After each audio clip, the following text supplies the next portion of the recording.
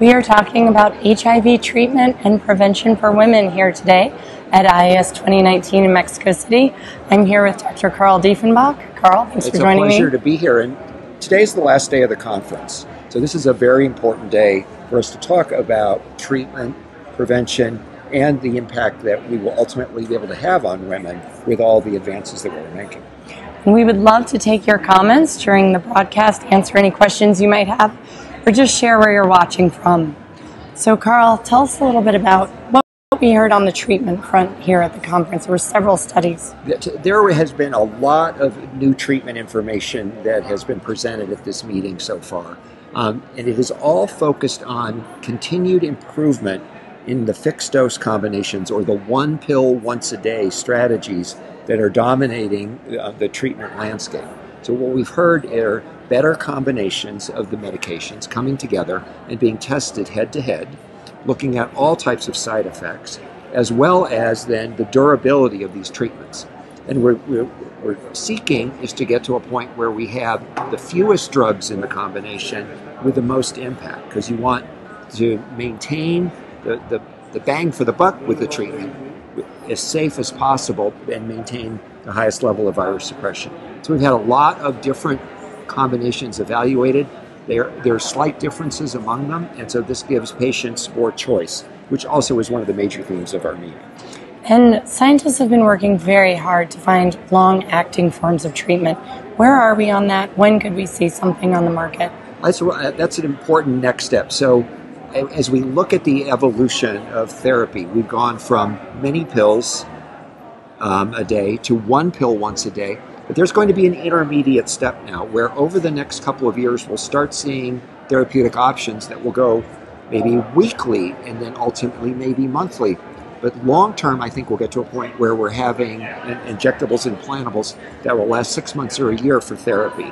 And that all of these will be game changing events, and we'll have to deal uh, with how they are rolled out, how they're implemented, and how we talk to community about what this means for them um, with their treatment options. Great. And so, switching gears a little bit, I want to talk about young women and girls in Southern Africa. Why is this an important population to talk about? So, as we heard yesterday at the PEPFAR meeting, this is a group that um, is in many ways at the center of the epidemic. They are the most vulnerable because between the ages of 18 and 24, they become infected at such a high rate. The, the incidence that we're seeing in this population across sub Saharan Africa approaches 6% annually, which is the most heartbreaking number. Uh, and so, what we need are prevention options that will work for this population as we go forward. It's really a challenge. And so, speaking of prevention options, we heard results uh, presented here from HPTN 082. Tell us a little bit about this. Yeah, let's talk about HPTN 082. This was a, an attempt to see how we could implement pre exposure prophylaxis in this population. And the good news is, um, with education and with um, the ability to talk to investigators, this population had high uptake of pre exposure prophylaxis to the point of uh, over right around 90% of the people that were offered PrEP actually began PrEP. The good news from that was that a large percentage of those actually came back to their first 30 day visit to get another batch of, of PrEP. Long term, though, the results are, are somewhat disappointing or, and represent a major challenge we're facing. That by the end of the study, only 9% of the, of the originally enrolled cohort was, uh, had evidence of adherence to the, um, to the regimen. That really repre- shows that we have a significant challenge making PrEP work in this population. So, what are the implications? What does that mean? What do we need to do? Well, I think what we need to do is understand what, um, how pre-exposure prophylaxis or other strategies could help this population um, stay adherent to um, a prevention regimen, as well as make it accessible to them so they weren't feeling the stigma, the stigmatization associated with, with pills. We just don't know what that is. But maybe we should talk a little bit about the ring, because I think that that was some other very important data that we saw um, at this meeting. And what we, uh, what we heard from Jared Baeten um, of the Microbicide Trials Network was the output of their open label extension study. What's an open label extension study? The so that uh, so an open label extension study is when you take a group.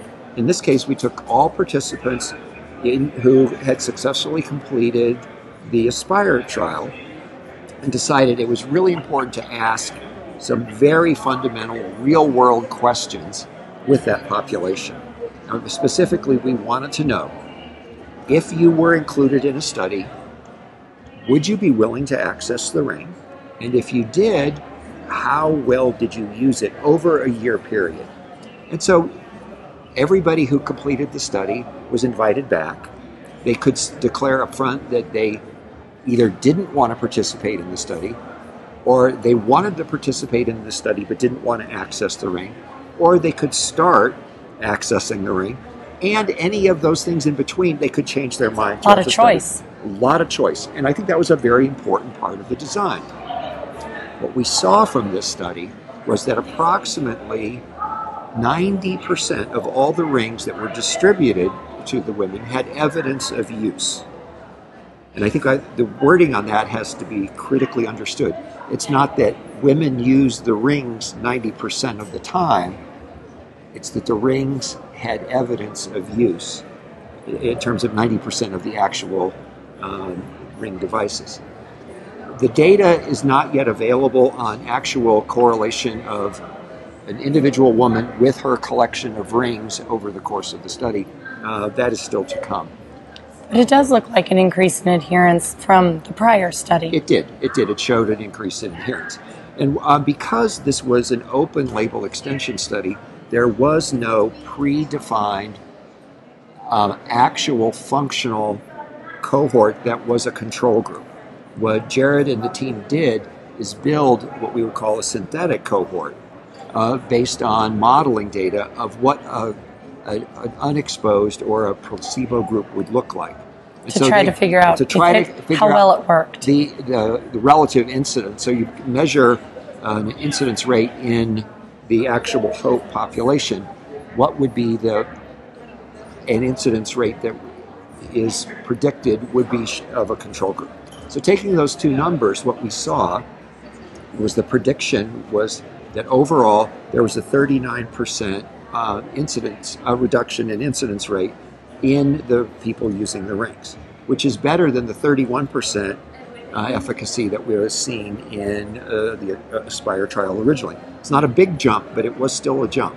And so I think there's some additional work that needs to be done here to understand and unpack what was happening uh, in Aspire. So with that, we have pretty much completed the bulk of the analysis of efficacy uh, coming out of, of Aspire and Hope. So this closes one chapter in the ring. And now we are waiting to hear from the EMA about uh, the readout of whether the ring um, will be licensed. And that is to come uh, later this year or early next. Great. And so, in terms of Aspire and Hope and 082, those are all studies that were conducted in Southern Africa.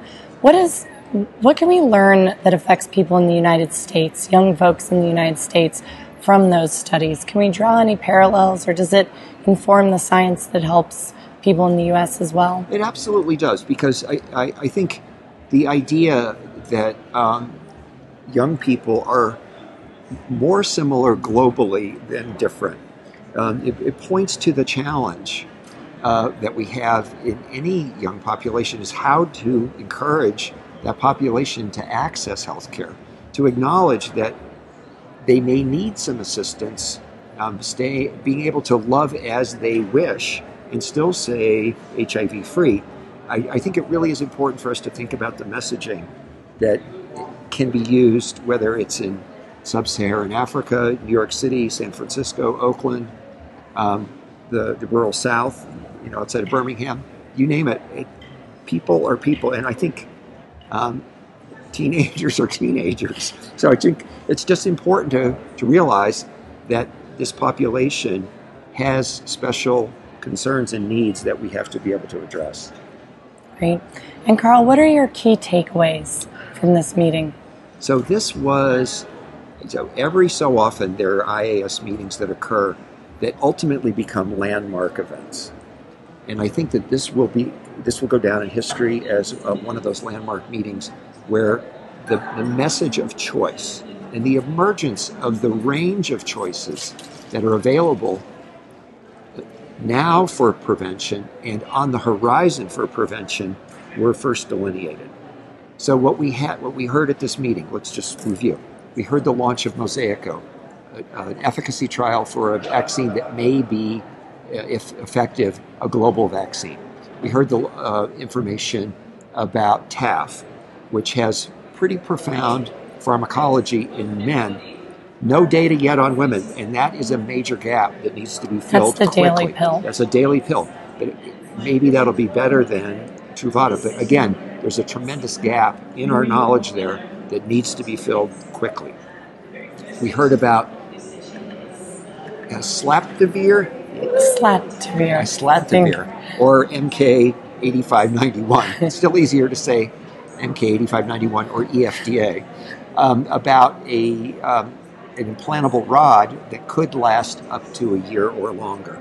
Uh, so, those are the kinds of prevention strategies that give not just women and not just men, but all people choice eventually for what would be available for them for prevention. So, we'd have daily pills, pills on demand, implantables, injectables like cabotegravir, possibly a ring, rectal douches, all options, and ultimately a safe and effective and durable HIV vaccine.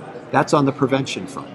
On the treatment front, medication continues to get better and safer and easier to access. So these are the takeaway messages from this meeting.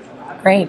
And what can people look forward to over the next year till we're back at an IAS convention? Well, over the next year, many of these studies will start. Mosaic trial will start. There's a high probability we'll hear results from AMP, the monoclonal antibody study, and we will also hear about the ring. So, a lot of good stuff to come. Carl, thank you for joining me this week. Thank you for joining us most of all. For more information, please visit hiv.gov.